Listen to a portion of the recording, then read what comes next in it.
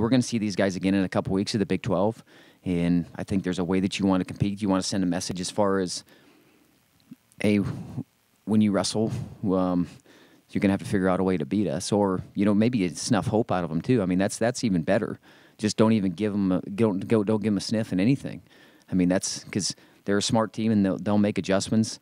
Um, but man, we have an opportunity to to build some momentum for for us too, um, and just kind of send a message. Get, I think our team needs to get used to winning in Oklahoma. I mean, the Big 12 tournaments down there, so you might as well get used to to that type of atmosphere. Seeing a lot of orange in the stands and and getting used to being able to compete and win in that type of environment. So, I mean, you can kind of look at matchup to matchup. I think, you know, there is a lot of ranked guys. Um, you know, a guy like Albert obviously gets a chance to maybe bump up his, you know, his ranking, his, his number, even though I know that guy, he's struggling, but doesn't matter. you know, I mean, it, it doesn't matter. Um, nobody feels sorry for a guy when they're struggling. I mean, that's kind of the that's kind of the nature of the sport. It doesn't matter if the guy's hurt and injured or he's you know his girlfriend just broke up with him or whatever happened. They don't care, and we don't care either. Um, so you know, I look at that. I look at a lot of opportunities just for guys to be able to shrink their number a little bit. But um,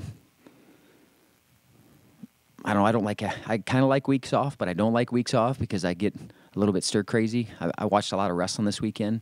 Um, got to go watch. Got, got to go watch some future Panthers compete. Um, and you know, you, you kind of get to this time of year, and sometimes we build it up a little too much.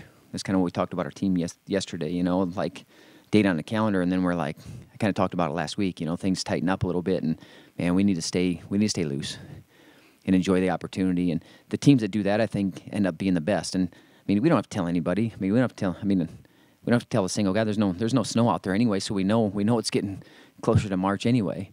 Um, but just being able to stay steady and and and continue to keep our emotions in check and not build things up too much and really not tighten up in these big situations. And this is a great opportunity this weekend to to show that hey, we're not going to do that.